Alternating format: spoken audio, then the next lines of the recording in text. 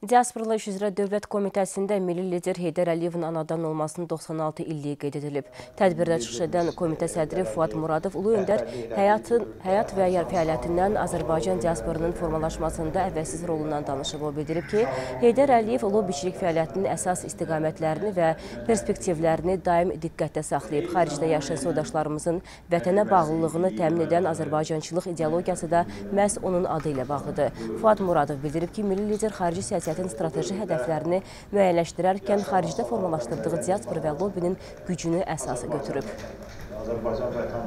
Ulu Öndər Heydər Əliyev elə Sovet İttifaqı zamanında ən məşhur Azərbaycanımız oldu. Bu gün bizim komitədə müxtəlif ölkələrdə məşhur Azərbaycanlarla bağlı araşdırmalar aparır, onları Azərbaycan cəmiyyətinə təqdim eləyir. Və çox gözəl bir haldır ki, o zamanlar ən tanınmış bizim Azərbaycanımız məhz Öndər Heydər Əliyevimiz oldu. Bu günləri dünyada yaşayan Azərbaycanlılar bütövlükdə Azərbaycanda gedən prosesləri dəstəkləyirlər. Bu günlər xaricdə yaşayan Azərbaycanlılar Azərbaycanla fəxr edirlər. Mən inanıram ki, Ulu Öndər Heydər Əliyev irsi hər zaman qorunacaq.